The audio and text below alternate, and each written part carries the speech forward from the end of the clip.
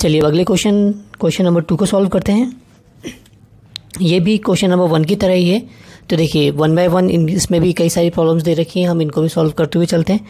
तो problem number one है हमारे पास sine forty nine degree upon cos forty one का whole square plus of cos forty one degree upon sine forty nine degree का whole square right तो same जैसे previous question में अपन ने सॉल्व किया था, वैसे ही हमको करना है राइट तो हम न्यूमिनेटर या डिनोमिनेटर किसी को भी डिसाइड कर लो जिसको आपको चेंज करना है। जैसे सपोज़ हमको न्यूमिनेटर चेंज करना है तो साइन ऑफ़ फोर्टी नाइन को हम लिख सकते हैं ninety minus forty one right upon cos of forty one plus of यहाँ पर हम चलो डिनोमिनेटर को चेंज कर लेते हैं तो कॉस फोर्टी वन को एज इट इज़ रहने दिया साइन फोर्टी नाइन को अगेन हम लिख सकते हैं नाइन्टी माइनस फोर्टी वन का होल स्क्वायर आप न्यूमेटर डिनोमीटर किसी को भी एक को चेंज कर सकते हो। तो साइन नाइन्टी माइनस थीटा अभी हमने सॉल्व किया था। साइन नाइन्टी माइनस थीटा होता है कॉस ऑफ़ थीटा थीटा के प्लेस पे वैल्यू है forty one upon forty cos forty one का whole square plus of cos of forty one sine ninety minus theta होता है कॉस थीटा थीटा की plus value है फोर्टी वन का whole square ये आपस में कैंसिल आउट हुए।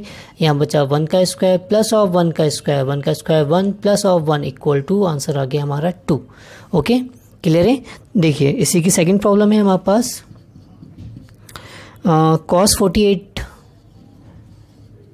cos forty eight degree minus of sine forty two degree okay तो देखिए सॉल्व करने से पहले आप इन दोनों एंगल को आपस में ऐड कर लीजिए। 48 प्लस फोर्टी जो कि हो जाएगा 90 ओके तो देखिए, हम कॉस को कन्वर्ट कर सकते हैं साइन में। साइन को कन्वर्ट कर सकते हैं कॉस में और दोनों ही सेम हो जाएँगे और आपस में कैंसिल आउट होकर इसका आंसर हो जाएगा ज़ीरो चलिए, आगे फिर भी सॉल्व कर लेते हैं। तो दोनों में से किसी एक फ़ंक्शन को चेंज कर रहे हैं। तो हम 48 को लिख सकते हैं। 90 माइनस फोर्टी जो कि हो जाएगा 42 माइनस ऑफ़ साइन 42 इसको इट इज़ रहने दिया। तो ये हो गया sine of 42 minus of sine 42 दोनों आपस में कैंसिल रिज़ल्ट आ गया हमारा ज़ीरो तो इस टाइप की जो सारी प्रॉब्लम्स हैं, बहुत इजी हैं। सिंपल हमको कॉम्प्लीमेंट्री एंगल यूज़ करके ट्रिग्नोमेट्रिक फ़ंक्शंस को चेंज करना है और देन सिंपल सॉल्व करना है। चलिए इसी की नेक्स्ट प्रॉब्लम भी सॉल्व करते हैं। चलिए प्रॉब्लम नंबर थर्ड को सॉल्व करते हैं। बहुत आसान है ये भी। सेम हमको करना क्या है? दोनों एंगल को चेक किया। सम इनका 90 आ रहा है। ओके तो दोनों में से किसी एक को चेंज कर दो। जैसे न्यूमिनेटर को न्यूमिनेटर को चेंज करते हैं तो ये होगा कॉट ऑफ़ 40 को हम लिख सकते हैं 90 माइनस डिनोमीटर का एंगल बता देगा कितना? 50 upon denominator as it is रहा। Tan of fifty degree minus one upon two यहाँ पर भी न्यूमिनेटर ही चेंज कर लेते हैं। कॉस ऑफ़ थर्टी फाइव को हम लिख सकते हैं नाइन्टी माइनस डिनोमीटर बताएगा कितना? Fifty five okay upon sine of fifty five right?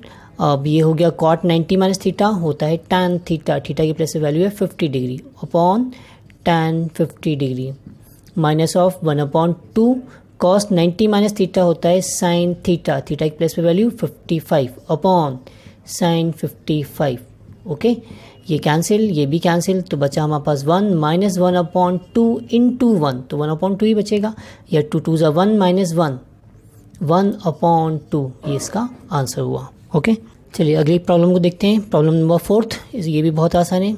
Simple मैं इसको मेंटली कैलकुलेट करके बताता हूँ। साइन ट्वेंटी सेवन को हम चेंज करके लिख सकते हैं। नाइन्टी माइनस सिक्सटी थ्री तो साइन ट्वेंटी सेवन जो कि हम लिख रहे हैं ट्वेंटी सेवन को ninety minus sixty three sine ninety minus sixty three हो जाएगा। Cos sixty three okay? ये हो जाएगा कॉस सिक्सटी थ्री अपॉन नीचे डिनोमीटर में इज़ है, हमारे पास एक कॉस सिक्सटी थ्री ऐसे रहने दिया, का whole square minus of same इसको भी 63 को हम लिख सकते हैं 90 माइनस ट्वेंटी तो कॉस 90 माइनस ट्वेंटी हो जाएगा sine 27 sine of 27 upon denominator में है हमारे पास साइन ऑफ़ 27 ये कैंसिल हुआ तो बचे यहाँ वन वन का स्क्वायर माइनस वन का स्क्वायर दोनों का स्क्वायर हुआ वन यह कैंसिल आउट हो गया हो गया zero okay? Next problem number five को सॉल्व करते हैं। चलिए अब फिफ्थ को सॉल्व करते हैं।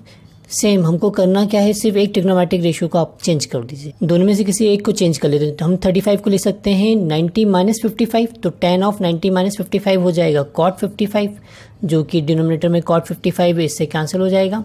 ओके प्लस ऑफ़ कॉट 78 को हम ले सकते हैं 90 माइनस ट्वेल्व तो कॉट 90 माइनस ट्वेल्व हो जाएगा।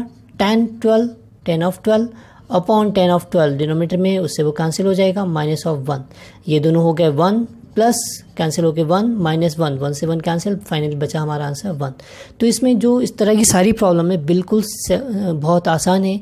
आपको सिर्फ़ एक ट्रिग्नोमेट्रिक फ़ंक्शंस को चेंज करना है और उसको सिंपल सिंप्लीफाई करके फाइनल आंसर बताना है राइट तो आई होप बाकी कि आप ये नेक्स्ट प्रॉब्लम्स आप सॉल्व कर सकते हैं। Thanks for watching